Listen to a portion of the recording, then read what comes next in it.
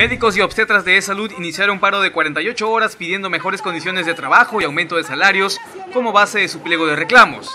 En el primer caso son 600 médicos que paralizan sus labores en la región Lambayeque. Sí, el primer punto es no a la privatización de la seguridad social, dos, no a las terciarizaciones millonarias, tres, mejores condiciones de trabajo y cuatro, una escala salarial justa. Después de este paro de 48 horas, si no se eh, atiende a sus pedidos, ¿qué medidas de repente pueden adoptar? Eh, como lo vuelvo a decir, la, la, Asamblea Nacional de Delegados que se realizó el 27 de enero en Lima ya tomó el acuerdo del paro preventivo de 48 horas y si no hay solución a esta, no hay ningún acuerdo, ya está fijada la, la fecha para la huelga nacional indefinida el día 12 de abril.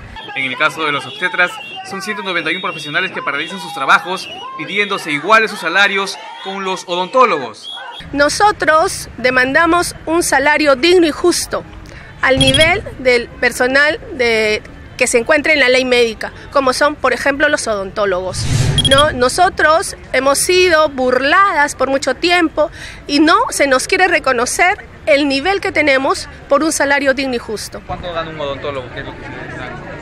Sobre 4 mil soles. Siendo la Almanzora Guinaga un hospital referencial, era de esperarse las quejas de los usuarios que vienen de regiones lejanas. Yo vengo desde Tarapoto, imagínate, ahora tengo que regresar para venir luego el 26 de marzo. Realmente, ¿Qué iba? A cardiología, hermano. Yo estoy operado al corazón y tengo un control. Imagínate el problema que nos genera. ¿Para qué especialidad venía usted? Eh, otorrino. Otorrino, sí. ¿El mismo o un familiar? Uh, ah, yo mismo, yo mismo. He venido. ¿Qué le han dicho? Me han dicho que no van a atender porque están en paro. ¿Cuánto han gastado ustedes para cerrarse?